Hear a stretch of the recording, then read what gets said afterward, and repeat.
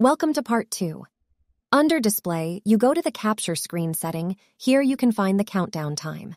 The countdown time for the first picture is usually a little bit longer, so guests get the time to get back to position after getting their props. The display duration is the time the photo preview is displayed to the guest. Two seconds is a good start. You can change the color of the countdown numbers if you like. Crop Live View will put a transparent border on the live view so you can see what part will be in the print.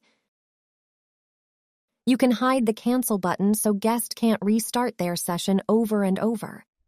Live Template Preview is a new function that makes your guest see themselves in your template while looking at the countdown live view. The photo thumbnails are previews from the pictures. You can put these on all the sides of your screen. Here can you change the white screen flash you see before the picture is made. The software uses this time to let the camera focus. Change this to your liking. Under sharing screen, you can adjust the screen timeout function. This gives the guest time to choose the print or email buttons. When this time is up, the booth will switch to the start screen and is ready for a new session.